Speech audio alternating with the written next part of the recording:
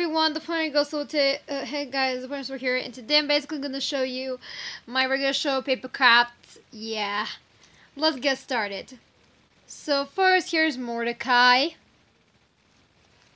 Yeah, looks cool, right? He's that blue jay, like a main character or something. Yeah, one of the main characters. I like how it turned out.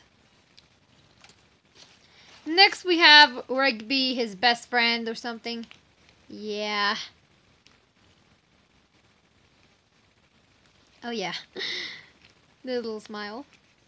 Oh, I like how this one turned out, too. Next, we have Benson. You're fired! Yeah, there you go. There's a little checklist there to get the people the jobs and stuff. Yeah.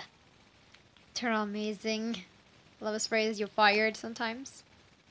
Next, we have Pops. Now, here's Pops.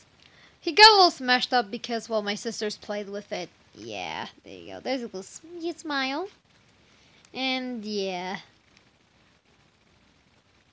The top hat. By the way, he has superpowers. Next, we have Skips, who is an immortal. Yeah. And now I have a homemade one, which is just a recolor of a double Mordecai. Here's Margaret. Yeah, with the Mordecai and Rigby's t-shirt from the episode Mordecai and the Rigby's.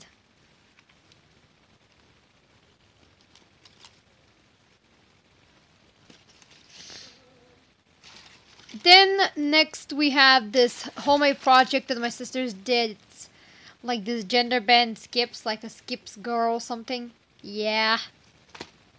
They play with this one a lot, by the way. And with Pops. I don't know why. Then we have Muscle Man.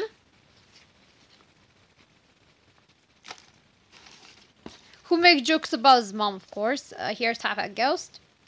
And the last one I did, which is the villain here, is that Kabuki tape guy that wanted the tape.